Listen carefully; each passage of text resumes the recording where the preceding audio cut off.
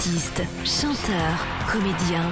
Découvrez les nouveaux talents d'ici dans Scène ouverte, le magazine de la culture régionale. Avec Stéphane Cousinet. Eh bien bonsoir à tous, très content de vous retrouver comme chaque vendredi soir, c'est l'émission euh, Scène ouverte. La semaine nous étions, je vous rappelle, du côté de Niort pour le Niort Jazz Festival qui aura lieu du 30 juin au 2 juillet et cette semaine, eh bien nous allons retourner à Surgère. On va rester à Surgère pour un événement qui va se dérouler euh, prochainement. C'est euh, Surgère Brass Festival et nous avons la chance d'avoir ce soir euh, Clément Saunier, le programmateur. Bonsoir. Bonsoir. Et Camille, la coordinatrice euh, de ce festival. Bonsoir. Bonsoir. En tout cas, merci beaucoup euh, d'être venu ce soir dans les studios de NFM. On va euh, faire euh, tout savoir sur ce festival. On le connaît déjà de Surgère. Ça fait ça fait la cinquième année que- qu'aura ce, festival. Alors, avant de présenter euh, les artistes qui vont venir cette année, euh, peut-être faire un petit point euh, de ce qui s'est passé sur les quatre années précédentes avec avec vous, Clément. Oui, alors euh, Surgère est une ville qui aime la musique et qui aime les cuivres aussi, les musiques cuivrées. Depuis plusieurs années, euh, la, la, municipalité euh, travaille en ce sens avec euh, l'orchestre d'harmonie, la banda Surgère. Il y a plein de plein d'orchestres comme ça, assez cuivrés. L'école de musique a un département cuivre très dynamique aussi. Voilà, moi je suis issu de, de ce circuit, de cette formation.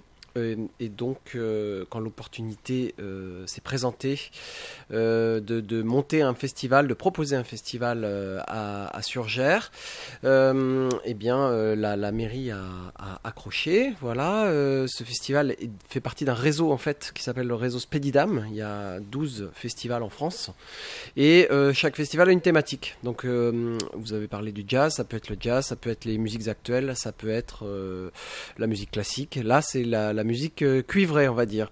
Et euh, le L'atout euh, de ces musiques cuivrées, c'est qu'en fait, on retrouve les cuivres dans tous les styles de musique. Donc, ça permet une, euh, une programmation qui peut toucher beaucoup de, de générations et de spectateurs différents, puisqu'on peut avoir en après-midi un concert classique, euh, suivi d'un concert d'une fanfare funk, et puis accueillir des grands artistes euh, nationaux et internationaux, des têtes d'affiche, comme on dit dans Mhm. le jargon, euh, en soirée. Voilà.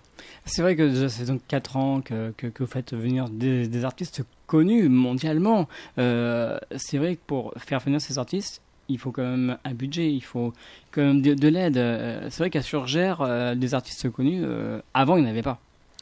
Alors, il y en a eu dans le passé. hein. Je m'étais renseigné, mais c'était plutôt euh, au Castel Park. Là, dans la, il y avait des, des, des têtes d'affiche, euh, des, des hit parades, euh, mais il y a, il y a très longtemps. Euh, oui, oui, c'est vrai que c'est c'est assez nouveau quand même euh, sur le territoire de pouvoir accueillir comme ça des, des, des gens qu'on entend à la radio, qu'on qu'on voit, euh, qu'on voyait à la télé quand il y avait de la télé encore. Donc voilà, ouais, ouais, non, c'est c'est c'est une super opportunité, ouais, pour le public de les voir en vrai, en- de pouvoir venir assister à ces concerts. Ouais. Vous pouvez peut-être nous, nous rappeler les artistes qui sont déjà venus, ces quatre? Ah oui, alors on a eu, on a eu des, des artistes très variés. On avait attaqué fort avec euh, Earth, Wind and Fire. Ah oui, là, c'était. Ça, ça avait été un grand euh, succès de, de- de- du tout début du, du- du festival. Voilà, euh, les premières années, on a eu euh, Michel Leb qui était venu euh, Oui. en big band avec son big band. Euh, on a eu Manu Dibango qui malheureusement nous a quittés euh, cette année, enfin l'année l'année passée. On a eu, qu'est-ce qu'on a eu comme artiste? Je, vais- je m'y perds déjà. Je suis à fond sur l'édition qui vient. On a eu Kezia Jones Et oui, Kezia Jones, ouais, avec Alexis, avec Alexis Bourguignon. Bourguignon à la trompette, c'était magnifique. Ouais, tout à fait. C'était une très belle soirée. Euh, on a eu Ibrahim Malouf qui est venu à la dernière édition. Ça avait été un gros, gros euh, succès. Voilà, on a des, des grandes têtes d'affiche euh, comme ça. Et comment faites-vous pour faire, pour faire venir ces artistes Alors, moi, je suis donc trompettiste. Il y a quand même beaucoup d'artistes que je connais personnellement, même les, les grands noms comme ça. J'ai l'occasion de les côtoyer dans mes diverses activités, diverses tournées, divers voyages.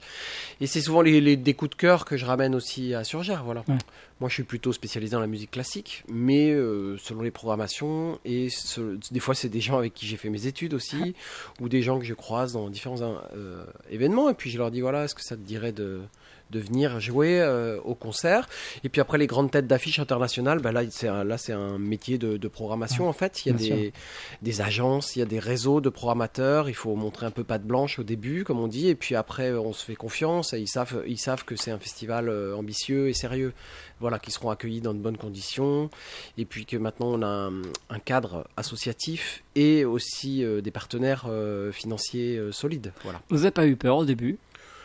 Euh, pas vraiment, non. Ah oui. Non, non, je crois qu'il faut se lancer. euh, en fait, il faut faire une, une programmation qui est un peu en, en phase avec Ouais. euh, ce qu'on peut avoir comme jauge, Mhm. c'est-à-dire le nombre de personnes qu'on peut Bien sûr. accueillir. Bien sûr. Et puis voilà, il faut pas non plus faire n'importe quoi, mais euh, voilà, généralement on commence avec une grosse tête d'affiche la première année, et puis il y a des, des concerts un peu plus modestes entre guillemets, et puis voilà, on essaie de, de- de grossir petit à petit, c'est ce qu'on fait, euh, ce qu'on essaie de faire à Surgère. ouais. Sur, sur les quatre années qui s'en sont déroulées, combien de public à peu près Une moyenne, moyenne d'âge C'était tout public Alors, euh, en fait, on, fait des études de public. Euh, on a des, des- des sociétés pour ça. Et donc, euh, ben, on voit d'où ils viennent, un peu la moyenne d'âge. Ça dépend des, des soirées, des artistes. Euh, sur, une, sur un concert comme Ibrahim Malouf, c'était très représentatif de la société, par exemple. C'était euh, en gros 50 ans de moyenne d'âge euh, sur la soirée. Donc, il y avait un peu toutes les, toutes les générations euh, confondues. Après, ça dépend. Si on fait une soirée de jazz, si on fait euh, une soirée plutôt euh, actuelle, chanson, voilà, avec des, cuivres, c'est c'est vraiment ça, c'est vraiment variable. Oui. Et les personnes venaient de, de, de, de, tout- de, de tous endroits de, Ah oui, oui, on peut, ça peut venir de toute la France. J'ai un souvenir assez fort parce qu'on avait fait une, so- une soirée euh, avec un groupe qui s'appelle euh, Too Many Zoos euh, la première année. C'était une espèce d'after avec des, des Américains là, un peu, euh, un peu fous.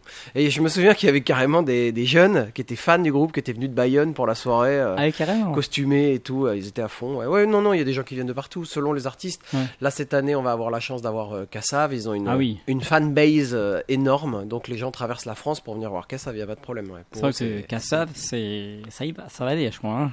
Ah bah oui, oui, c'est- très très festif, et puis c'est vrai qu'ils ont un fan club euh, incroyable, Mm, qui mm, les suit sur tous les zéniths, toutes les scènes, tous les trucs. euh, ouais, ouais, ils ont des fans, quoi. Être Alors- fan. Alors avant, avant de présenter les artistes qui vont venir euh, cette année, tout à l'heure vous avez parlé un petit peu de la Spedidam. Expliquez-nous un petit peu le contexte de cette de cette de cette société. Alors, euh, la Spedidam, c'est une société de perception de droits. Euh, qui, qui perçoit, euh, par exemple, sur les musiques diffusées, sur les ventes de, de CD, les ventes de disques durs, par exemple, de clés USB. Voilà, il touche euh, en fait euh, des droits. Et euh, par exemple, moi, je suis sociétaire à la Spedidam en tant, en tant qu'artiste. quand, je sais pas si j'ai enregistré un CD ou participé à une musique de film, eh bien, à la fin de l'année, je touche des droits. Alors, c'est pas, c'est pas énorme sur chaque diffusion, bien sûr, mais plus on a enregistré, plus on est actif, plus on touche de droits. Voilà, c'est, les droits à la, à la diffusion pour la propriété des artistes. Euh, et la, la Spedidam a eu l'excellente idée, il y a une dizaine d'années, de monter un réseau de festivals pour en fait redistribuer aux artistes un peu les perceptions en créant des emplois pour les artistes euh, français notamment. Donc ils se sont dit, bah, tiens, voilà, on va faire euh, plein de festivals. Dans chaque festival, il y aura une dizaine, douzaine, vingtaine de concerts. Et donc euh, ça, va faire, ça va faire boule de neige. Il y aura de plus en plus de festivals et aussi de plus en plus de travail, de, de concerts pour nos sociétaires, nos artistes. D'accord. Et donc c'est vrai que ça vous permet de, faire, de faire un excellent concert, de faire un excellent festival grâce à eux quand même. Ah bien sûr, ouais, c'est Ouais. notre partenaire principal. partenaire, ouais. Ouais, ouais, bien sûr. Et c'est surtout eux qui nous ont permis de nous lancer parce qu'ils ont, ils ont, euh, ils sont portés garants quasiment Mm. de la, du succès de la première édition. Donc c'était, c'était vraiment très très important. Et ils ont aussi euh, ce qu'on appelle les générations Spedidam, c'est-à-dire qu'ils ont un, un catalogue d'artistes pendant 2-3 ans. Ils suivent un artiste ou par exemple dans un style et ils le proposent dans plein de festivals. Et c'est aussi une garantie de, de, de niveau, c'est-à-dire que eux s'engagent pas sans euh, la Spedidam, je parle, euh, sans, sans quelques garanties de, de qualité artistique, voilà, parce qu'ils ils veulent que, ils veulent que non seulement le- les, les festivals se développent sainement pour toute la partie euh, bénévole, financière et, et tout ça, mais aussi ils veulent de l'extrême exigence artistique pour les, les artistes. Il faut savoir que, que, ce festival, le, le- le réseau Spedidam, c'est quand même plein de festivals dans la région, euh, comme le vôtre. Vous avez celui de, Niort euh, qui, euh, qui va être qui Oui, ça va être la première édition. première édition de Niort, Niort Jazz Festival exactement. Et puis il y en a d'autres dans les dans les deux dans les du côté de Montmorillon, le festival des Lumières aussi. Oui, alors Montmorillon, c'est un petit peu plus loin, et puis il y a les, les nuits courtes aussi. Nuits Ouais, courtes, on. A les nuits courtes aussi à, Fontenay-le-Comte en Vendée, où Ouais. là c'est vraiment dédié aux musiques actuelles, mais c'est vrai que euh, on est sur un territoire, effectivement, autour de nous, on a d'autres exemples de festivals du réseau, comme le disait Clément, sur des styles euh, musicaux variés. Voilà. Alors on va faire une première pause musicale. On va retrouver bien la- l'artiste phare de cette année, euh, Kassav. Tout à fait. Alors à quel moment qu'on peut le retrouver Kassav Expliquez-nous. Alors, euh, Kassav, euh, c'est le, le- la grosse soirée euh, du festival. hein. Cette année, c'est le, le samedi euh, 17 juillet. Voilà, donc ils seront, euh, ils, joueront, ils chanteront, ils danseront à 22h sur la scène du parc. Hélène FM, l'esprit, l'esprit local, local. Hélène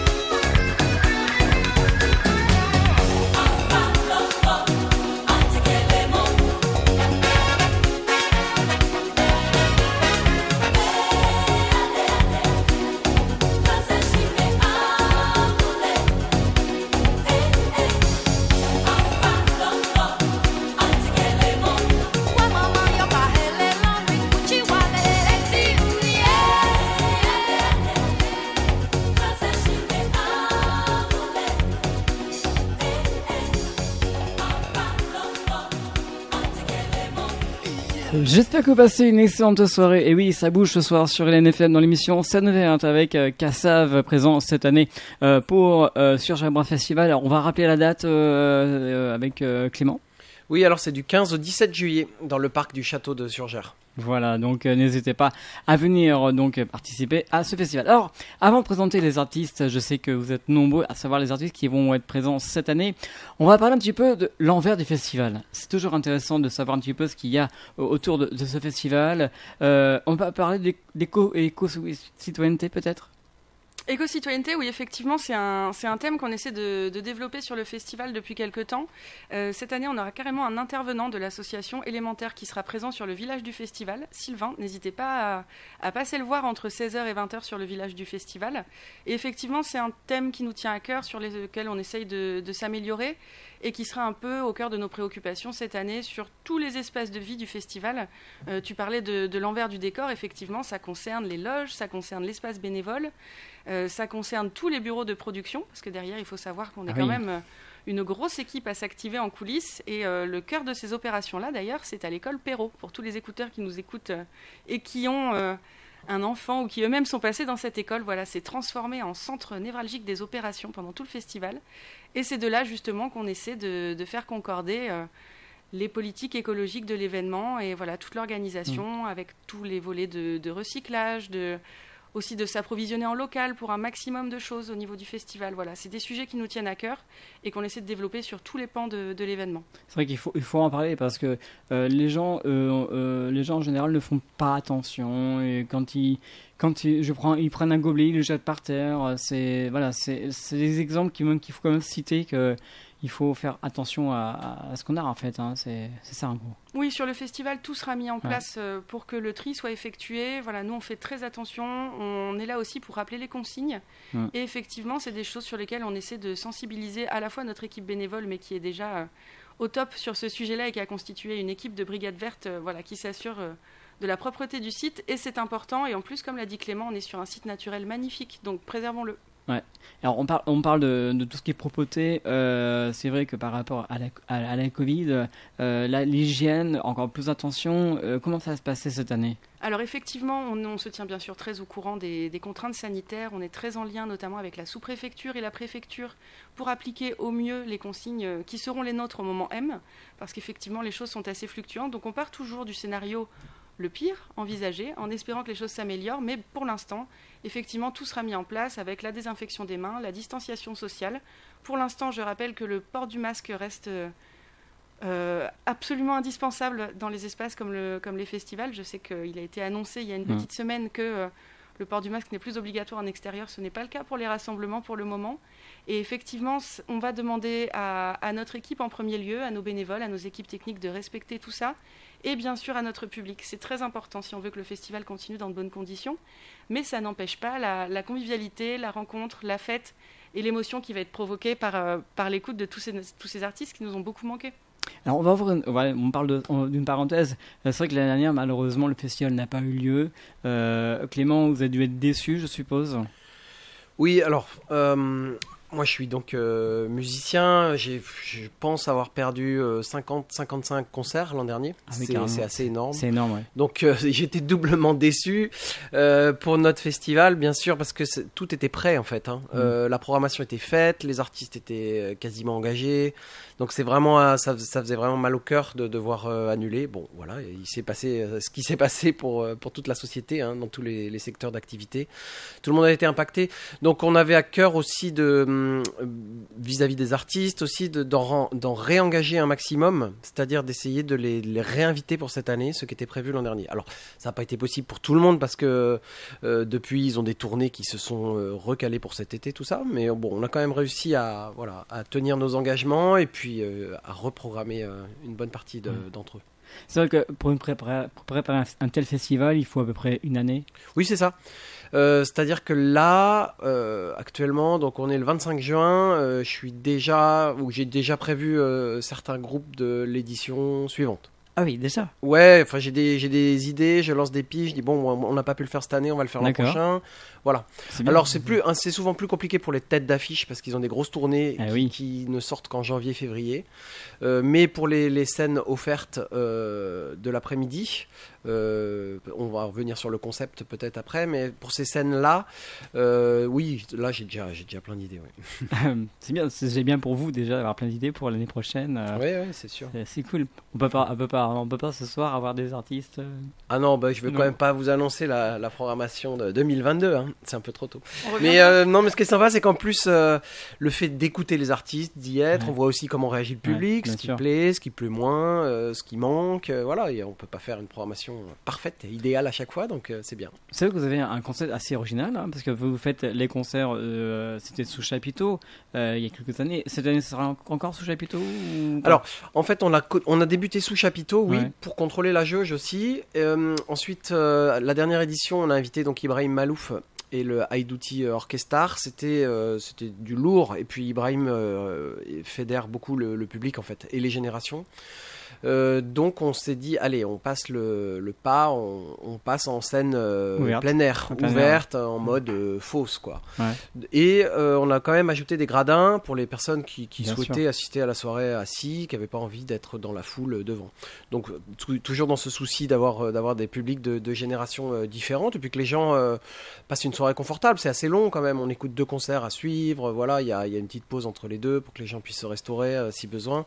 Donc oui, oui, on est, on avait sauté le pas de- du chapiteau à la scène, euh, la scène euh, ouverte, comme on dit. Voilà. Et donc cette année, euh, même concept euh, avec des, des Alors, gradins. des- Oui, c'est ça. que- Excusez-moi, On est- il paraît que c'est des chaises assises, des, des chaises ou pas? Cette année, effectivement, on a dû changer un tout petit peu la Ouais. configuration. Alors, par rapport au plan que le public connaissait, il y a peu de choses qui changent, notamment euh, au niveau de la grande scène du parc pour les concerts du soir. La scène sera toujours au même emplacement, donc du côté de la guinguette et de la gère, à côté de l'école. Et effectivement, le changement cette année, ça va être le parterre de chaises, Oui. où pour l'instant, je dis bien pour l'instant parce que peut-être que d'ici là, on aura des nouvelles à vous annoncer, mais pour l'instant, restons sur ce qu'on a imaginé, c'est-à-dire un grand parterre de chaises, euh, où a priori, pour le moment, tout le monde est assis. D'accord. Donc actuellement, c'est comme ça. Peut-être que ça va changer. euh, Peut-être que ça va changer, on, on sera- on saura être extrêmement réactif si, Ouais, voilà, si les conditions le permettent, mais pour le moment, on reste sur ce, sur ce plan-là. Voilà. Alors comme j'ai dit tout à l'heure, donc des concerts le soir, l'après-midi bien sûr de, des différents concerts. Aussi, je crois qu'il y a des spectacles gratuits. Oui, en fait, c'est le concept du réseau Spédidam. Euh, L'idée, euh, afin que toute la, la communauté de communes et, et que tout le monde puisse aussi accéder à la musique euh, de la manière la plus large possible et la plus libre possible, l'idée, en fait, c'est d'offrir. C'est c'est pas gratuit, euh, rien n'est gratuit malheureusement. C'est d'offrir euh, les concerts au, au public en après-midi. Donc par exemple, on a euh, le 15 juillet, on a un concert à 17h, un concert à 18h30 où toute la famille peut venir. C'est- totalement euh, accessible et voilà. Et sur ces, ces- ces- ces scènes offertes là, qui qui proposent de la variété artistique aussi. Voilà, ça c'est mon mon souhait. C'était mon souhait et du coup je, je, je m'y tiens à proposer voilà des styles très différents pour que les gens puissent découvrir plein d'artistes de, de grande qualité. Alors, avant de, présenter les artistes de, cette année, euh, on va parler un petit peu de chiffres. hein. Euh, les chiffres de l'année euh, de l'année dernière fois, de l'année festival. Comment ça s'est passé? Que- Quels étaient les quels sont les chiffres en fait? Alors, euh, donc on a un festival qui dure trois jours. Ah, Je vais essayer de pas vous assommer quand même. Mais euh, on a donc deux scènes et une douzaine de, de concerts en tout, hein. et euh, dont six offerts. Voilà. Et le- la dernière édition du festival a rassemblé 10 000 euh, festivaliers, ce qui, quand on y réfléchit, est super hein, quand même pour une ville de, de 7 000 habitants comme Surgères. Donc il y a 10 000 personnes qui sont venues au concert, qui, ben, qui découvrent la ville pour certains, qui consomment, qui restent aussi, parce que le but c'est de, de développer aussi euh, euh, les offres d'hébergement, de, restauration en local, donc que toute, euh, toute la ville puisse profiter de ça. Ensuite, il y avait environ 80 musiciens sur scène, voilà. Et on a surtout aussi toute une équipe de, de bénévoles qui fait à peu près 100 personnes. voilà. Après, on a des, des, des, des personnes salariées aussi pour organiser tout ça. On a des, une vingtaine d'intermittents aussi, de techniciens. Voilà, il y a une association qui s'est créée pour, euh, pour, euh, pour gérer tout ça avec euh, beaucoup d'adhérents. Enfin voilà, oui, vous vouliez des chiffres, vous en avez. Beaucoup, beaucoup de monde. hein. C'est incroyable. Avec le nombre d'heures que vous passez, c'est. Ah bah oui, non, après c'est beaucoup de, c'est beaucoup de, de boulot. On passe énormément d'heures, euh, plus que les trois jours, bien sûr, de ça. présence au festival. C'est quotidien toute l'année. Il faut compter les, les- les heures avant, euh, avant de préparation. Il y a plein de choses à faire. Voilà, même. c'est ça. Oui. Exactement. C'est beaucoup de, de travail. C'est un, c'est un métier. C'est ça. Heureusement qu'il y a beaucoup de personnes qui vous entourent. hein. Oui, oui, tout à fait. Ben, Peut-être on peut dire un mot sur l'équipe euh, de, de bénévoles. euh. Allez-y, oui. Oui, sur l'équipe de bénévoles, comme tu le disais, donc en, en 2019, on avait 102 bénévoles. Et c'est vrai que moi, ce qui m'a. Ce qui m'a vraiment marqué dans la création de ce festival de Surgère, et, euh, et je remercie Clément pour ça, c'est que dès la première année, en fait, euh, grâce aussi à, à ton ancrage local, à tes connexions, euh, non seulement l'association a été créée, mais aussi dès la première année, on a eu déjà plus de 60 bénévoles, ce qui pour la création d'un événement euh, de- cette ampleur est déjà extrêmement Ouais, bien. et moi, ce qui me ravit toujours, c'est de voir la fidélité des bénévoles.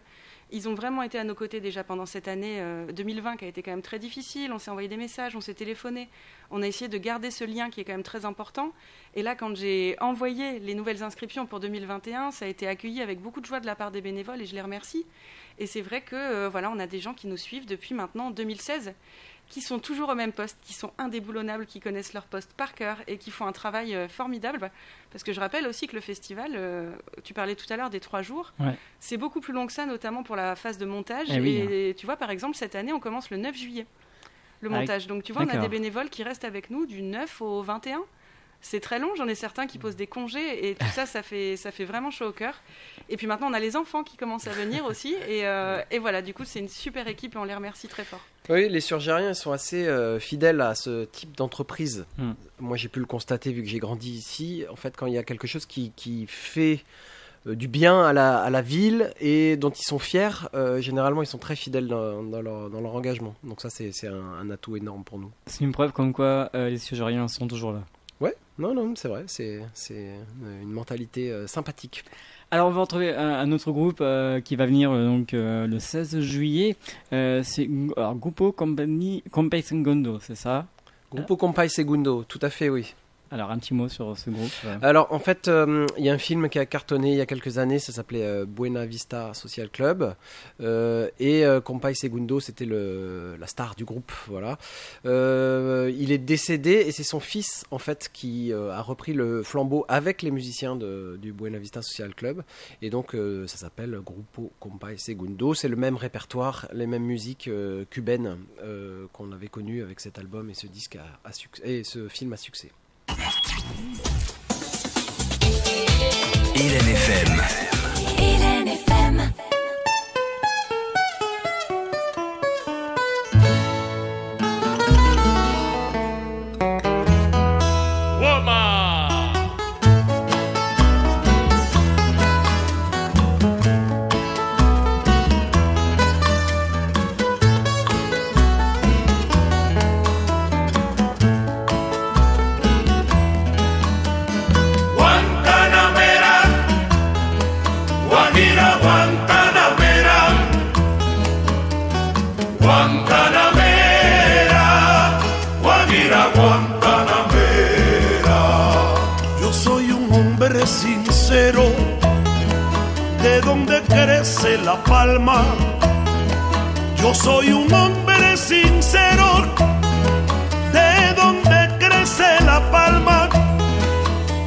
De morir yo quiero echar mis versos del alma. Y antes de morir yo quiero echar mis versos del alma. Guantanamera, Guajira, Guantanamera,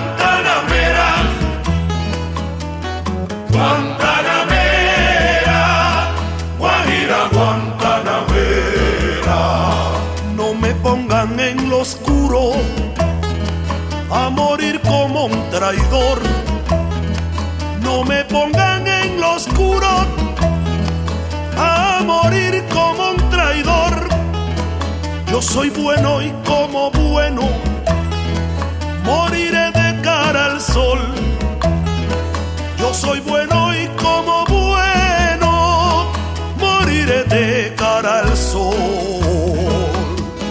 Guantanamera, Guajira, Guantanamera,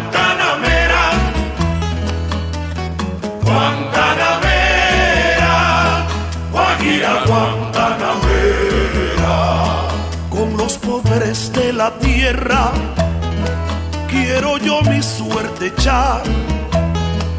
Con los pobres de la tierra quiero yo mi suerte echar.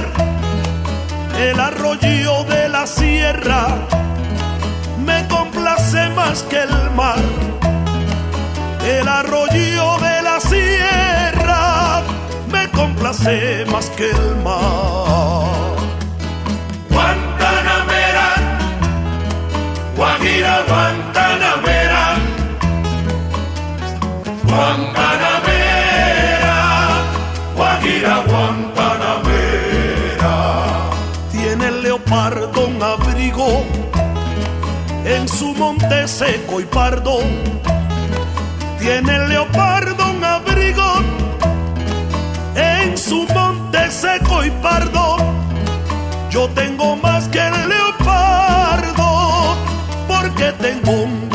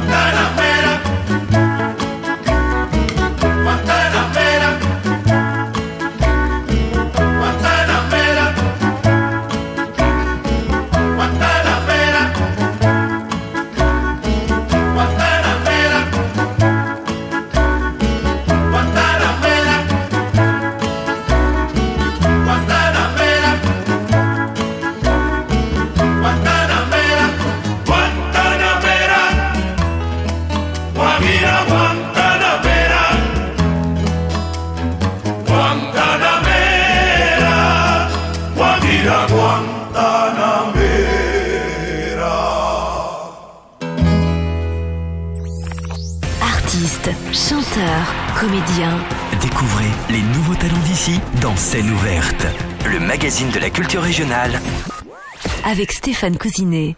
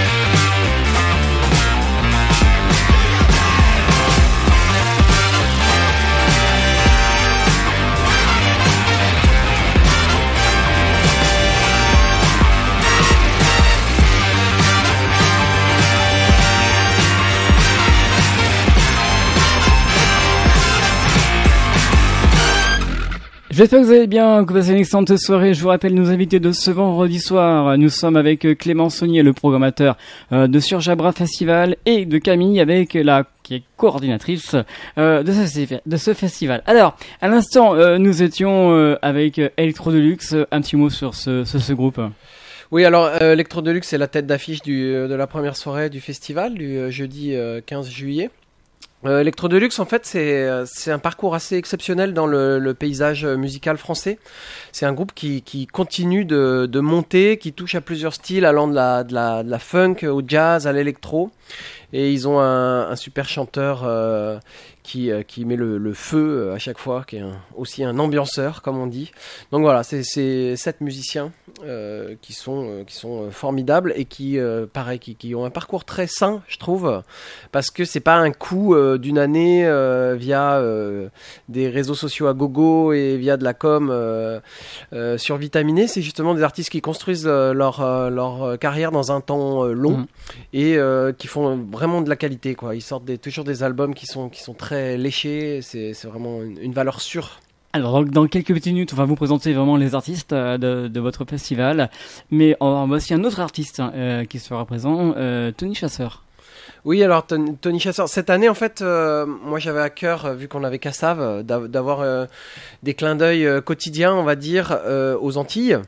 Et euh, donc Tony Chasseur, c'est la, la, la Martinique. Voilà, c'est un artiste phare euh, de, de la Martinique et puis qui fait une très belle euh, carrière de, de jazzman, de chanteur. Hélène FM, L'esprit l'esprit local. local.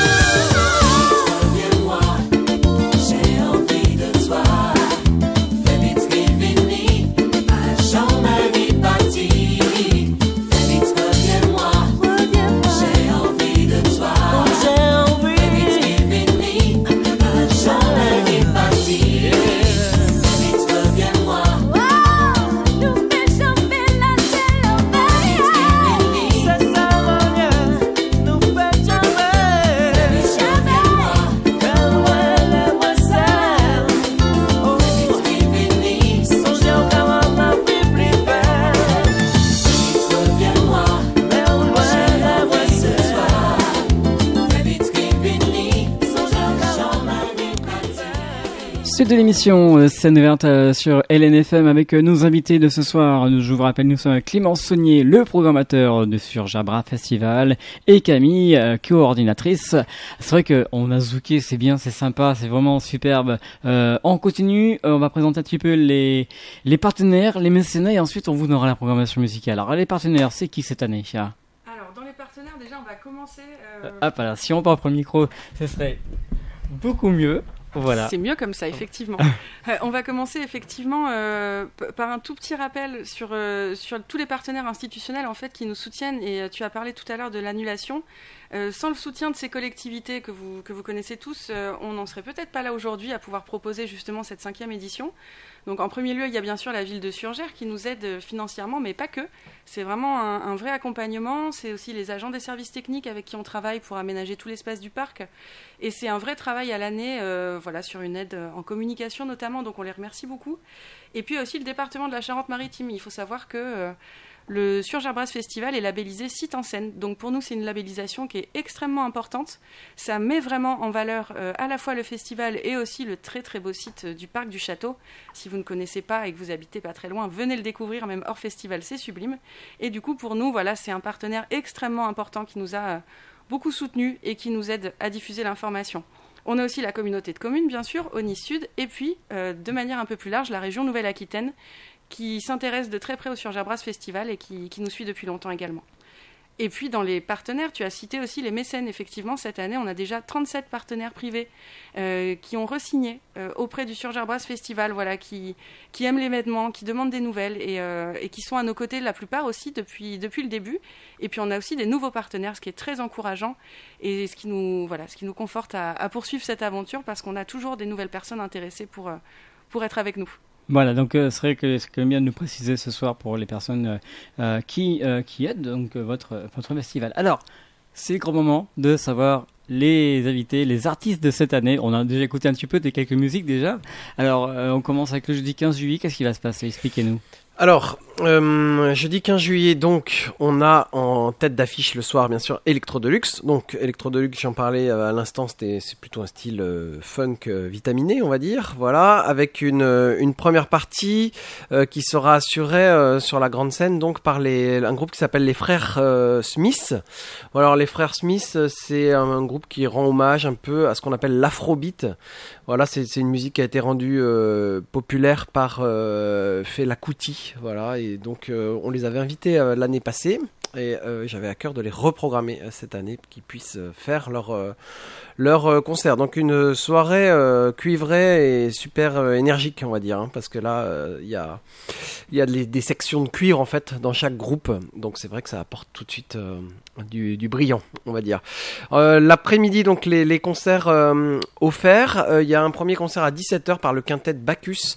Alors en fait, j'aime bien dans les programmations aussi valoriser des jeunes professionnels. C'est-à-dire que là, ce sont des, des gens qui sortent du Conservatoire national de Paris et qui ont monté un groupe de musique de chambre qui est un peu classique. Il y a aussi des musiques de films, voilà, des arrangements. Euh, donc c'est un quintet de cuivre traditionnel. Eux ouvriront le, festival à 17h. Et à 18h30, on aura une, euh, une fanfare qui s'appelle Jumbo System, qui est un peu dans la même veine que les frères Smith qu'on retrouve le soir euh, sur la- l'afrobeat dont je parlais. euh, Tony Allen, Fela Kuti. C'est les musiques des années 70. Voilà. Donc ça c'est un, un groupe qui vient de, de Tours, voilà, qu'on qu'on accueillera pour la, pour la première fois. Alors le vendredi 16 juillet, euh, la tête d'affiche en soirée, c'est euh, Grupo Compay Segundo, donc euh, hommage au Buena Vista Social Club. Euh, et en première partie, Tony Chasseur, donc un artiste euh, antillais. La- euh, L'hommage aux Antilles étant donc euh, la, dominante hein, de cette, euh, de cette euh, édition 2021. Euh, donc Tony Chasseur qui est un, un chanteur voilà qui vient avec euh, avec euh, entouré de beaucoup de musiciens hein. ils sont 10 sur scène Ah oui, carrément. voilà, ouais, ouais. Donc c'est du, on va dire du jazz créole euh, mêlé à du zouk. voilà, c'est un peu un mélange de styles et euh, très euh, très sympa pour euh, voilà pour faire monter l'ambiance. Euh, en après-midi, on aura euh, un autre groupe classique. Euh, qui vient du Mans, qui s'appelle Potomani Quartet. Euh, eux, euh, donc, ce sont des, musiciens qui vont faire euh, des pièces originales et des pièces classiques et des arrangements, aussi musique de film. Et ensuite, à 18h30, toujours sur la scène offerte, il y a Caribop. Alors, Caribop, toujours dans la veine créole, c'est une fanfare, de, un orchestre de rue. il y a une tradition des balles aux Antilles. On appelle ça les balles traditionnelles. Donc, euh, eux reprennent ça. Alors, il y a des, des biguines, des quadrilles, euh, voilà, des danses euh, traditionnelles. Et en petit clin d'œil, le tubiste de cette formation s'appelle Raphaël Gouttière. J'étais au conservatoire avec lui. Et c'est aussi, il est connu parce que c'est le, le- celui qui fait le tuba dans le groupe Delgrès, qui était venu il y a quelques années à, à Surgères. Donc c'est c'est un, un plaisir de l'accueillir de nouveau dans notre programmation avec une autre formation. Et enfin, le samedi 17 juillet, donc là c'est euh, bien sûr la soirée Cassave, Eh ben oui. la, la soirée phare de notre, de notre programmation. Alors malheureusement, à l'heure à laquelle on se parle, euh, la, la billetterie a complètement explosé euh, par rapport au- à la jauge actuelle qui est assez euh, faible. Euh, Pour l'instant, on est à 1000, euh, On est à 1000 personnes. Tout à 1000 fait. places seulement, alors qu'on pourrait accueillir beaucoup, beaucoup plus dans notre scène ouverte. Peut-être que ça va un peu se débloquer, mais pas sûr du tout. Mais pour l'instant, on a, on a fiche complet pour cette, pour cette soirée. Voilà, malheureusement. Euh, en première partie, en fait, c'est un artiste labellisé Génération Spédidam, donc dans le catalogue d'artistes favorisés, favoris de la Spédidam. Là, c'est Pierre Drevet, donc c'est un trompettiste euh, euh, qui a un projet qui s'appelle Lila Nanda Jazz Quintet. Euh, Quintet, voilà, ce, ce groupe en fait c'est de la musique brésilienne. Et euh, juste avant, donc sur la scène offerte, on aura, on aura un groupe qui reprend des musiques des Balkans, qui s'appelle euh. Et enfin, on aura une fanfare à 18h30, une autre fanfare qui vient de Toulouse, euh, qui s'appelle les Fanflures Brass Band. Voilà, donc là c'est du groove funk New Orleans. Un bon festival avec beaucoup de groupes. Ah oui, bah oui, il y, a- il y a- il y a 12 concerts. C'est bien. Alors pour euh, prendre les billets, euh, site internet, je crois. Oui, alors pour prendre les billets, vous avez plusieurs options. Effectivement, le site internet www.surgerbrasfestivaltoutattaché.com. Si vous souhaitez, euh, si vous préférez vous déplacer, vous pouvez bien sûr aller à l'office de tourisme de Surgères ou à l'espace culturel du Leclerc. Et puis après, vous avez tous les réseaux classiques, on va dire, de, de Fnac, des magasins U, de Carrefour, etc. Dans chaque ville où vous vous trouvez, il y a un moyen de prendre son billet pour le Surgères Brass en ligne ou en réel. Euh, comme l'a dit Clément, donc pour l'instant, la soirée du samedi est complète. Mais n'hésitez pas voilà, à réserver vos places pour les autres soirées parce qu'effectivement, la jauge étant limitée, les places partent très vite. Un petit rappel aussi euh, sur les billets de l'édition 2020. Euh, bien sûr, si vous aviez pris votre billet avant le début de l'épidémie, il est bien sûr valable. Vous n'avez aucune démarche à faire, hormis vous présenter au point de billetterie le jour J, et c'est tout. Voilà, donc c'est bien de préciser pour les personnes qui ont, qui ont réservé depuis deux ans, bientôt, bientôt deux ans. hein. C'est ça, tout à Ouais. fait. Donc, euh, et puis on rappelle la date du festival, c'est de quand à quand? Alors, le festival, c'est du 15 au 17 juillet, avec des concerts, comme l'a dit Clément, tous les après-midi.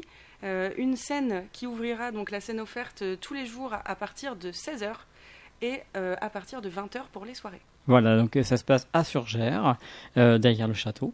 C'est ça. Voilà, donc euh, comme chaque année. Et on vous attend nombreux, nombreuses hein, pour participer à, à ce à ce festival. Et puis bien sûr, tout ce qu'il y a à côté. Il y a plein de choses à côté.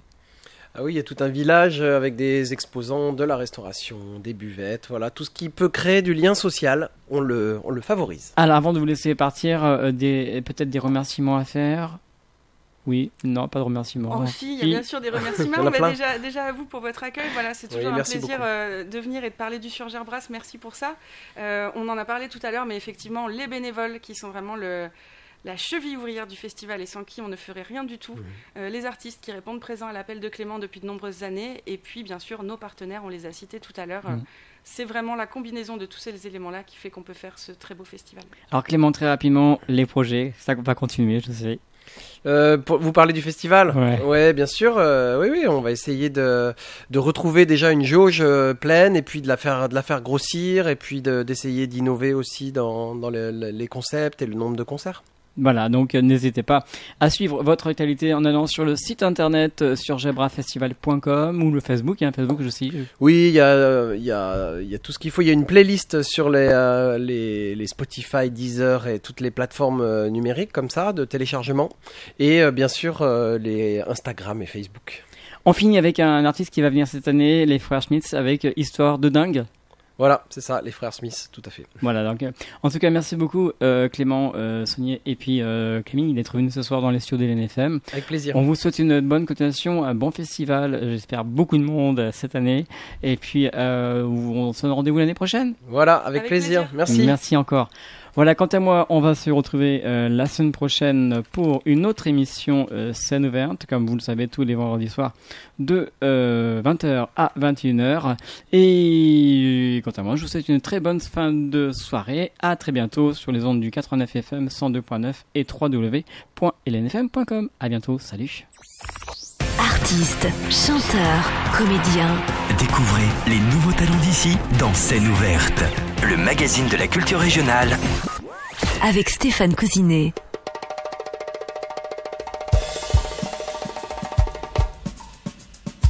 Oui Faites vibrer vos émotions. Oui Le muselage du peuple n'affectera jamais sa liberté de penser. Oui, monsieur le juge. Les frères Smith vous diront la vérité. Rien que la vérité. La vérité, c'est denrée bien rare.